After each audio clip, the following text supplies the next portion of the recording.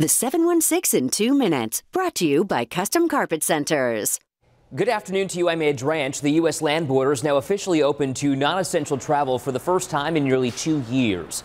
Hundreds of Canadian travelers lined up to cross the Peace Bridge once the border reopened at 12:01 this morning. Wait times peaked at around two hours, but traffic is now moving smoothly with all wait times at the Western New York bridges under 10 minutes. Mercy Hospital workers have finished the voting process for their new contract with Catholic Health.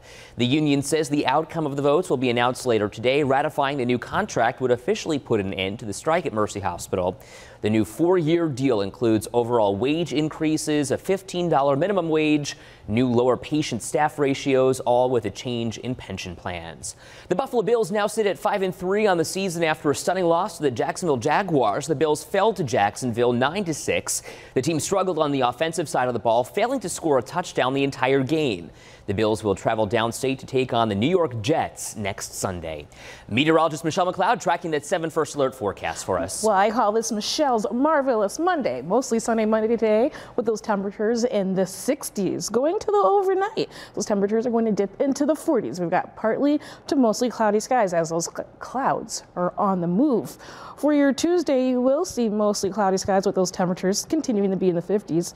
We stay in the 50s again for Wednesday with more sunshine. On Thursday, we've got cloudy skies again. Let's open up that Thursday. Well, we don't open up that Thursday. We'll just look at that Thursday, 62 degrees. Then we cool down again with some showers primarily in the morning on Friday. Going near Saturday for 40s and dipping down the upper 30s to low 40s for the end of that seven day with that wintry mix to boot.